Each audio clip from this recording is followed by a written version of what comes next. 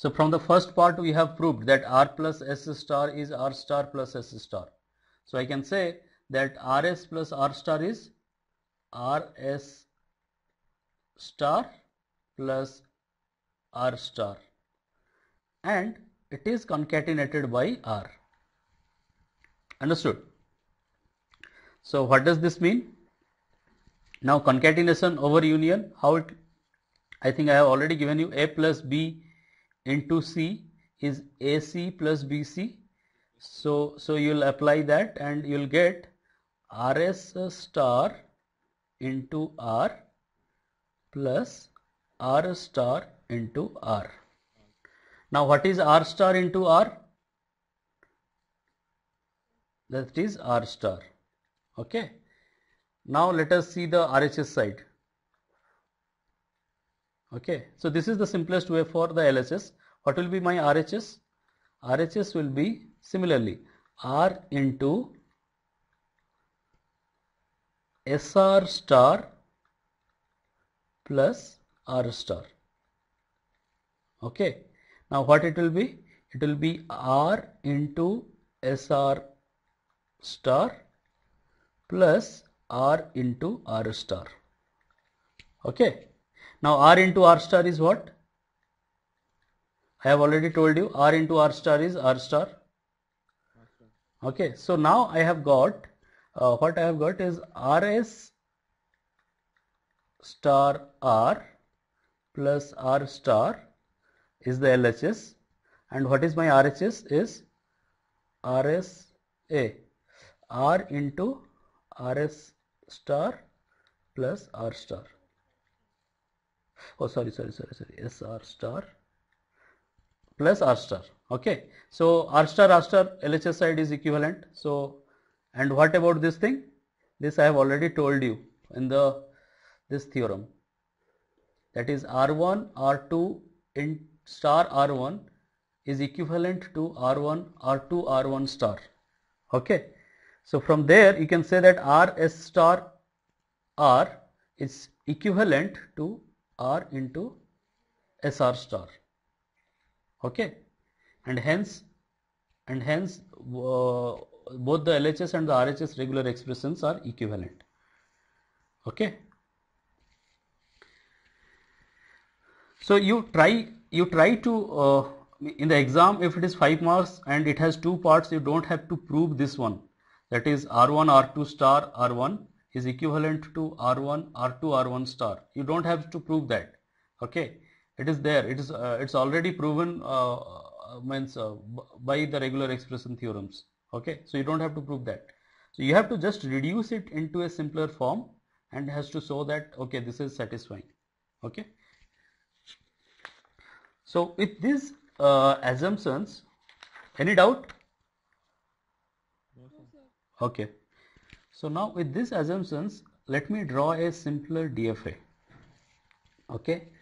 So suppose how will you uh, uh, means uh, whatever we have studied that is from a DFA can I construct an equivalent regular expression. So let me write it down. So suppose this is my DFA Q1 from Q1 I go to Q2 from Q2 I have Q3 okay. Here I got uh, it's a 1 it is suppose 0 and 1 then I go to 0 and with 0 or 1 I go to from Q3 to Q2 okay. So so so create the regular expression.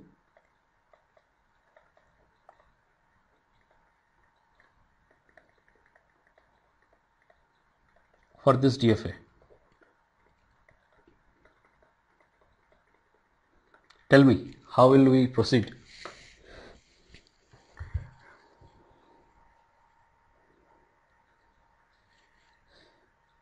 So let me summarize that the while proving that theorem what we have done? While proving that theorem we proved that the all the words accepted by this DFA can be represented as union of what? That is sum of r1 f fi to the power n. Remember? So what I have told you. So the words accepted by this DFA will be r q1 q3 with the number uh, three states that is 3 okay plus r q1 to q2 with 3 correct or not? Means q1 i am not saying so let me write it as q1 as 1 this is as 2 this is as 3 then we'll, we'll have proper format. That is r1 uh, understood now. So so so what we do is we create tables for it. Okay? We cannot so to get r n i j what i did? I first got r i j n minus 1 then apply and what i did then it will be r i j. Sorry. Rij n, n is equal to r i j n minus minus 1 or it can be r i n n minus minus 1 into rn n n minus 1 star. This is n minus. N minus 1 star into r n j n minus 1 understood? So so the way these things are solved through a computer program is like this. So we create tables. Can you please explain that last line again.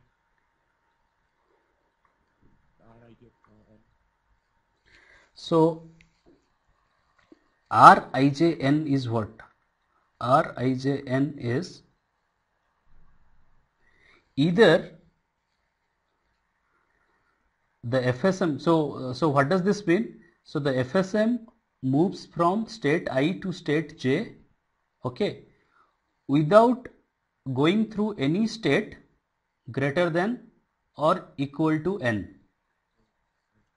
So either while traversing the FSM we can either encounter n or we may not encounter n okay so if we do not encounter n, then what will be happen? What will happen? So Rijn will be Rijn minus 1. First thing. Now if we encounter n, then what can happen? I have already told you I can split the path into three parts. So so first is Ri to n and then n minus 1 okay then there are loops so I can say that from n to n it will traverse with n minus 1 states and it is a star and then from n to j with n minus 1. Understood? Yes, sir. Okay. So we will start like this. So it will be so here so in the LHS side it will be R I J K. And in the in the column side it is k is equal to 0 k is equal to 1 how many possible value of k it can have?